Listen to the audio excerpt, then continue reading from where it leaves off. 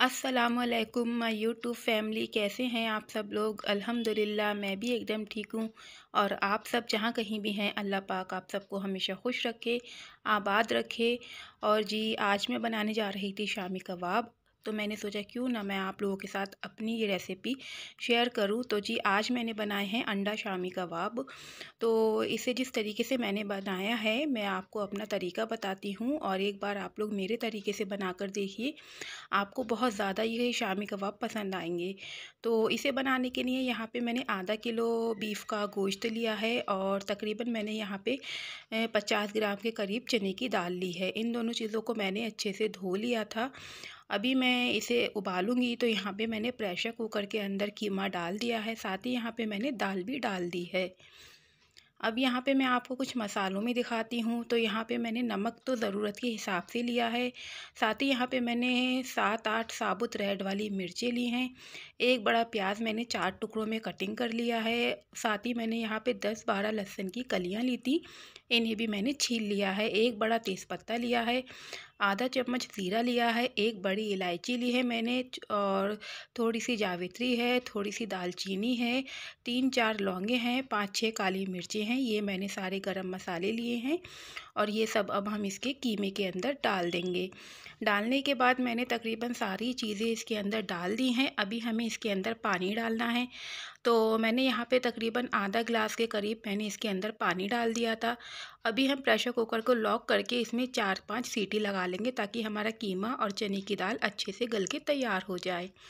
चले जी, जब तक हमारा कीमा उबल रहा है, जब तक हम यहाँ पे, मैं आपको दिखाती हूँ, यहाँ पे मैंने थोड़ा सा हरा धनिया लिया है सात आठ मैंने यहाँ पे हरी मिर्ची ली हैं, दो मैंने प्याज ली थी, उन्हें दो टुकड़ों में मैंने कटिंग कर लिया था। यहाँ पे मैंने इसे हैंड चॉपर के अंदर डाल के मैंने इसको महीन चॉप कर लिया है, आप लोग देख सकते हैं। मैंने प्याज, हरा धनिया है हरी मिर्च को चॉप कर लिया है। यहाँ पे देखें, इस तरीके से मैंने इसे महीन महीन चॉपर में डाल के चॉप कर लिया है। अभी हम देखते हैं कि हमारा कीमा अच्छे से गला है या नहीं तो देखें आप, माशाल्लाह, कीमा और चने की दाल दोनों चीज़ें अच्छे से गल के एकदम तैयार हो गई हैं और इसके अंदर पानी भी नहीं है। तो इसे हम ठंडा करेंगे। यहाँ पे मैंने दो अंडे लिए हैं। इन्हें अंडों को मैंने अच्छे से उबाल के इन्हें छील लिया है। अभी हम अंडों के पीसीस करेंगे।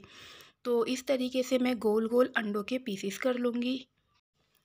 अंडा शामी कबाब आप लोग बनाइए। आपको ये बहुत ही टेस्टी और मज़ेदार लगेंगे। तो जी, इसी तरीके से आप देख तक, देख सकते हैं। मैंने गोल राउंड में जो है ना अंडों के पीसीस कर लिए हैं। तो जी, बहुत ही टेस्टी बने थे, मज़ेदार बने थे और बहुत ही अच्छे बनते हैं। इसे आप पराठों के साथ सर्व करिए, आपको बहुत ही अच्छे लगेंगे। तो मैंने अंडों के पीस कर लिए हैं, अभी हम इनको साइड से कर देते हैं और अभी हम देखते हैं कि कीमा जो हमें पीसना है ना तो पहले हमें उसे अच्छे से ठंडा करना होगा, उसके बाद ही हम उसे पीसेंगे चॉपर में डाल के। तो देखें, आप इस तरीके से मैंने गोल गोल अंडे के पीस कर लिए हैं। यहाँ पे मैंने कीमा जो है ना, एक बड़े प्लेट में निकाल के रख दिया है ताकि ये जल्दी से ठंडा हो जाए। तो इसे हम दो तीन मिनट के लिए अभी ऐसे ही छोड़ देते हैं, इसके बाद हम इसको पीस लेंगे। तो यहाँ पे ये तकरीबन ठंडा हो चुका था। मैंने इसे मिक्सर मशीन के जार के अंदर डाल के और इसे मैंने एकदम पीस लिया है। तो आप लोग देख सकते हैं, मैंने इसे कितना महीन एकदम पीस लिया है। बहुत अच्छे से ये पिस गया है। कीमा और दाल हमारी माशाल्लाह बहुत अच्छे से गल गई थी तो हमारा कीमा भी बहुत अच्छे से पिस के तैयार हो गया है।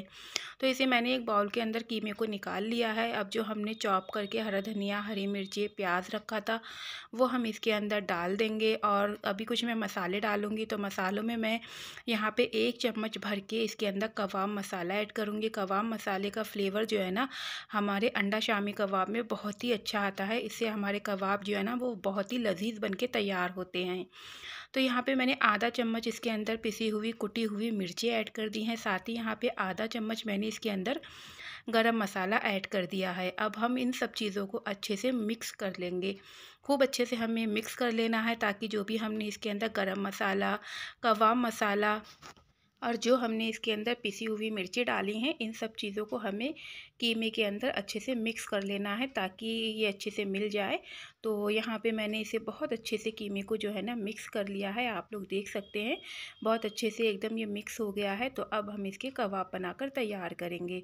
तो जी, बस ये अच्छे से मैंने मिला लिया है। अब मैं आपको कबाब बनाकर दिखाती हूँ कि किस तरीके से मैंने इसके कबाब बनाए थे। तो यहाँ पर जो है ना मैं एक बड़ा सा रोटी के पेड़े की तरह बड़ा सा बाउल लूँगी। लूँगी और लेने के बाद, बॉल लेने के बाद मैं इसे अपने हाथों पे, हथेलियों पे इस तरीके से प्रेस करूँगी। इसे इस तरीके से मैं बड़ा सा शेप दे दूँगी और इस तरीके से मैं इसे बड़ा सा करने के बाद अंडे का एक पीस मैं इसमें रखूँगी और रख के मैं इसे सारी तरफ़ से अच्छे से कवर कर दूँगी। इस तरीके से मैं इसे सारी तरफ़ से कवर करते हुए बहुत ही आराम से मैं इसका एक गोल आटे की, जैसे हम आटे का पेड़ा तैयार करते हैं ना, इस तरीके से मैं इसका एक अच्छा सा पेड़ा तैयार कर लूँगी। देखिए आप इस तरीके से मैंने जो है ना इसका पेड़ा सा तैयार कर लिया है। अब हम क्या करेंगे, हम बहुत हल्के हल्के इसको आराम आराम से आहिस्ता से हम इसको प्रेस करते हुए थोड़ा सा दबाएँगे, ताकि हम इसे शामी कबाब जैसे कि आलू की टिक्की का शेप होता है ना, इस तरीके का हम इस पर शेप दे देंगे। तो आप लोग देख सकते हैं, मैंने इस तरीके से आलू की टिक्की की तरह ये कबाब बनाकर तैयार कर लिया है। और जी, जब तक शामी कबाब थोड़े बड़े और थोड़े मोटे ना बने, जब तक शामी कबाब खाने का मज़ा नहीं आता है तो मैंने जी बहुत ही बड़े बड़े और थोड़े मोटे मोटे शामी कबाब बनाए थे। बाकी आप लोग अपने हिसाब से बना सकते हैं, जैसे आपको चाहिए। तो अभी मैं आपको एक और बनाकर दिखाती हूँ। इसी तरीके से मैं इसको लूँगी और अपने हाथ पे खूब अच्छे से फैला लूँगी। और फिर मैं इसमें एक अंडे का पीस रखूँगी और इसे अच्छे से हल्के हल्के मैं इसे गोल पेड़े की तरह करके और आराम से मैं इसको प्रेस करते हुए एक अच्छा सा शामी कबाब का इस पर शेप दे दूँगी। तो देखें आप इसी तरीके से हमने सारे कबाबों को मैं बना लेती हूँ और सारे कबाब बनाने के बाद मैं आपको दिखाऊँगी। तो देखिए जी कितना अच्छा सा मैंने बड़ा सा शामी कबाब बनाकर एकदम तैयार कर लिया है। अब मैं सारे बना लेती हूँ और फिर मैं उसके बाद आपको दिखाती हूँ। तो देखिए जी, आप यहाँ पे मैंने सारे कबाब बनाकर जो है ना तैयार कर लिए हैं और काफ़ी सारे आधा किलो बीफ के गोश्त में काफ़ी सारे शामी कबाब बन जाते हैं। तो बस अभी हम इसे साइड से कर देते हैं। यहाँ पे मैंने पैन रख दिया था गरम करने के लिए। और यहाँ पे मैं इसे सरसों ऑयल के अंदर फ्राई करूँगी। तो यहाँ पे मैंने इसके अंदर तेल डाल दिया है। तेल अच्छे से गर्म हो गया था, जब भी मैं एक एक कबाब को उठाकर और ऑयल के अंदर अच्छे से फ्राई कर लूँगी। हाई फ्लेम पे हम इसे फ्राई नहीं करेंगे। हाई फ्लेम पे अगर हम फ्राई करेंगे तो कबाब जो है ना हमारे जल्दी से सीख जाएँगे और अंदर तक एकदम कुक नहीं होंगे। तो इसलिए यहाँ पर मैं इसे मीडियम फ्लेम पर ही फ्राई करूँगी। तो बस मैं एक एक कबाब को ऑयल के अंदर डालूँगी और इन्हें इसी तरीके से घुमाते हुए एक साइड से करती चली जाऊँगी ताकि ये अच्छे से सीख जाएँ। इसी तरीके से मैं सारे कबाबों को इसी तरीके से रख दूँगी और इन्हें घुमाते हुए ऑयल डाल के इनको घुमाते हुए एक साइड से मैं सबको एक किनारे से लगा दूँगी। यहाँ देखिए आप, मैंने इनको एक तरफ़ से अच्छे से तेल में सेक लिया है और मैंने इन्हें एक साइड से कर दिया है।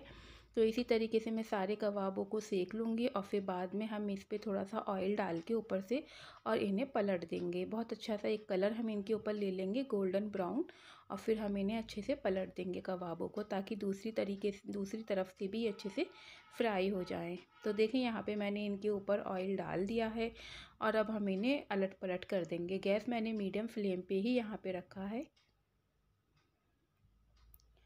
तो आप लोग देखिए, माशाल्लाह माशाल्लाह, कितना अच्छा सा कबाब के ऊपर एक कलर आ गया है, बहुत अच्छा सा कलर आ गया है।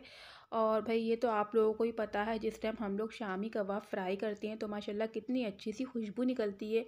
पूरा घर खुशबू से महक जाता है तो वही इस टाइम हो रहा था, मैं जिस टाइम कबाब फ्राई कर रही थी, इतनी अच्छी खुशबू आ रही थी इसके अंदर, पूरे घर में शामी कबाब की खुशबू की महक थी। तो जी, बहुत ही अच्छे ये अंडा शामी कबाब बनकर तैयार होते हैं, बहुत ही डिलीशियस से बनते हैं, टेस्टी बनते हैं। तो एक बार आप लोग मेरी रेसिपी से ज़रूर बना कर देखना और आपको आज की ये अंडा शामी कबाब की रेसिपी कैसी लगी, मुझे कमेंट कर कर ज़रूर बताना। और सबसे ज़रूरी बात कि प्लीज़ आप लोग वीडियो देखते हैं तो प्लीज़ वीडियो को लाइक भी कर दिया करें। और बस अब जो है ना, मैं गैस को बंद कर दूँगी क्योंकि पैन अच्छा खासा गर्म है, इसमें कबाब अच्छे से सीख जाएँगे। तो बस यहाँ पे कबाब जो हैं अच्छे से सिक के रेडी हो गए हैं। तो जी लीजिए गर्मा गर्म मज़ेदार टेस्टी कबाब जो है मैंने सर्विंग डिश में निकाल दिए हैं। आप लोग देख सकते हैं। माशाल्लाह माशाल्लाह, बहुत ही टेस्टी बने थे, एकदम चटपटे बने थे और बहुत ही मज़ेदार हमारे ये अंडा शामी कबाब बनकर तैयार होते हैं।